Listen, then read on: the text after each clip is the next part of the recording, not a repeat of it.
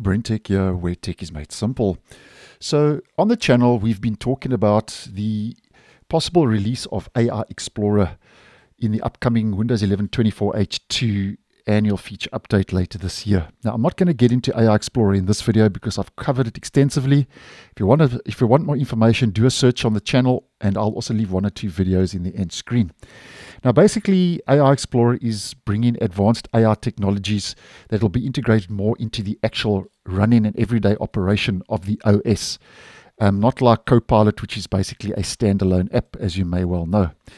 Now, just to let you know that although Microsoft hasn't officially um, announced AI Explorer officially, they might do it at the upcoming May 21st event, but they haven't officially said anything as yet. Just to let you know, in last week's latest Dev Channel Insider Preview build, build 26120.461, um, a new icon has been spotted by PhantomOfEarth. And if we head over to that, with a bit of deep digging, this is what uh, the icon now looks like for AI Explorer. And the difference being, as you can see, compared to what we looked at originally, uh, the pre-label here is in the bottom right. And this is what the so-called original icon looked like.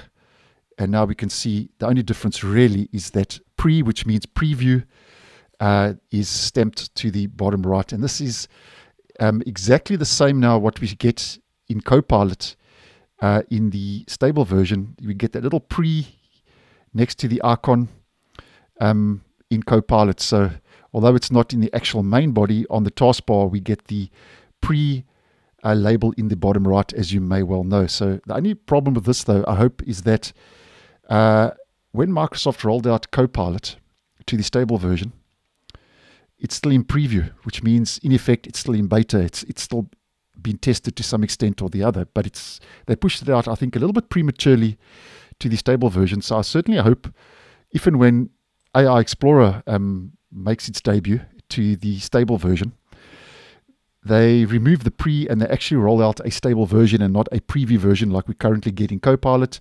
I mean, Microsoft, as you may well know, we've been talking about it on the channel. When they pushed out Copilot, it was really not ready for public release, although they pushed it out to stable. And then over the last couple of months, they've just been adding fixes and so on and trying to better the feature. And I've actually mentioned in a video uh, for the beta channel last week where Microsoft um, had paused new Copilot features in Windows 11 build 22635.3570.